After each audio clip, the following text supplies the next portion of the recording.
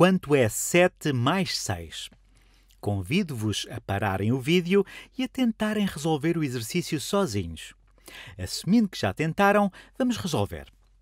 Imaginemos que temos sete objetos aos quais adicionamos mais seis objetos. Com quantos objetos ficaremos no total? Por exemplo, suponhamos que temos sete tomates. Um tomate, dois tomates, três tomates, quatro tomates, cinco, seis, sete tomates. A esses vamos adicionar seis objetos, por exemplo, mirtilos. O que queremos saber é o total de frutos. Então, 1, 2, 3, 4, 5 e 6, 6 mirtilos. Agora, quantas peças de fruta temos ao todo?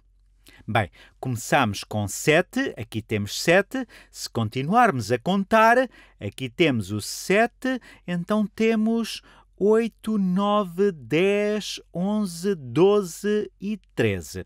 Temos então ao todo 13 peças de fruta. 13 peças de fruta. Podíamos resolver este exercício de outra forma?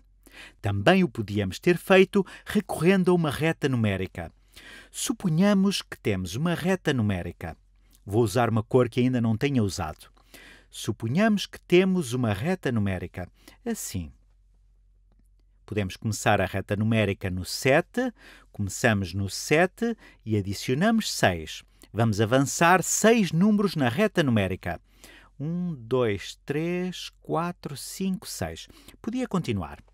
Aqui é o 8, 9, 10, 11, 12, 13. Como é óbvio, podíamos continuar. Porém, 7 mais 6. Podemos visualizar assim. Começamos no 7 e avançamos 6 casas na reta numérica. 1, 2, 3, 4, 5, 6. Seja como for, obtemos, obtemos 13. Podíamos ainda resolver isto de outra forma. Reparem, começamos com 7, adicionamos 3 para chegar a 10 e tivemos de adicionar mais 3 para chegar a 13. E isso leva-nos à essência do que o número 13 representa.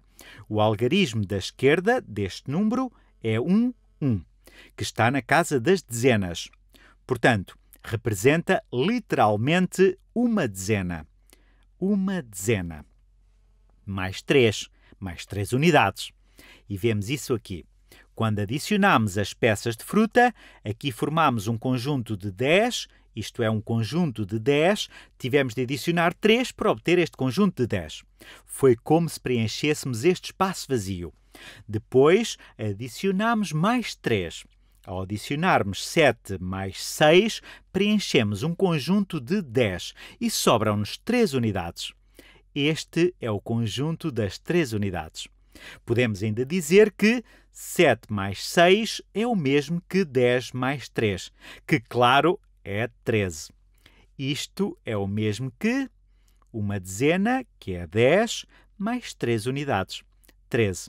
Seja de que perspectiva for.